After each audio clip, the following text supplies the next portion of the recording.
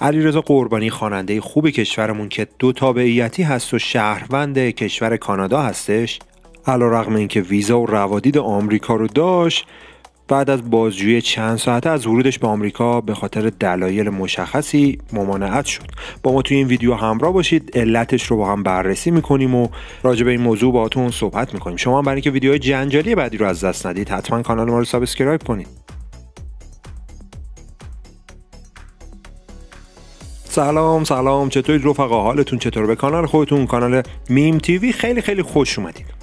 به گزارش لس آنجلس تایمز علیرضا قربانی خواننده ایرانی و یکی از هنرمندان اصلی جشن نوروزی در مرکز هنرهای سگرستروم کشور آمریکا در هنگام ورود به آمریکا مورد بازجویی شد و از ورودش به این کشور منع شد.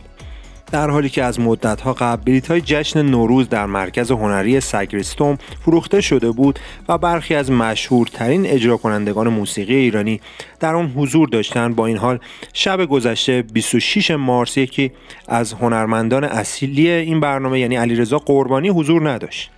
برگزار کننده این برنامه اعلام کرد که علیرضا قربانی خواننده مشهور ایرانی که مقیم قانونی کانادا هم هست پس از بازداشت توسط ماموران در فرودگاه و بازجویی چند ساعته از ورودش به ایالات متحده من شدش. قربانی در حالی که سوار هواپیما شده بود و روی صندلی خود نشسته بود و برخی از همکارانش در کنار او بودند به دستور پلیس از هواپیما بیرون آورده شد. علیرضا اردکانی مدیر اجرایی بنیاد غیرانتفاعی فرهنگ در لس آنجلس درباره بازداشت قربانی گفت نزدیک به چهار ساعت از قربانی بازجویی کردن و در نهایت به او گفتن که روادیدش لغو میشه و دیگه نمی‌تونه به آمریکا سفر کنه. من تنها یک پیامک دریافت کردم که گفته بود این خواننده اجازه نداره بیاد. ابتدا فکر کردم یه شوخیه. بعد از بازداشت موقت علیرضا قربانی و محرومیتش از سفر به آمریکا بعدا مشخص شدش که این خواننده دوره سربازیشو در سپاه پاسداران انقلاب اسلامی گذرونده و به خاطر همین مدت سربازی که گذرونده امکان ورودش به کشور آمریکا وجود نداره.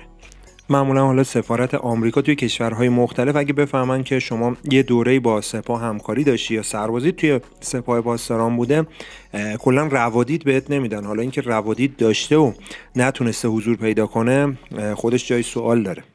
ولی خب در کل از ورود علیرضا قربانی برای همیشه به کشور آمریکا ممانعت شده.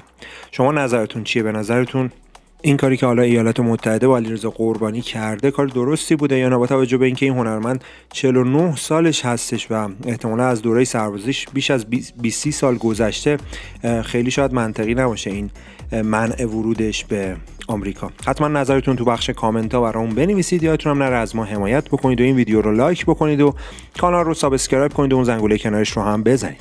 امیدوارم همیشه شاد و سلامت و پیروز باشید. تا ویدیوی بعدی خدا نگهدارتون باشه. پیشنهاد می‌کنم در ادامه یکی از این ویدیوها رو هم تماشا کنید.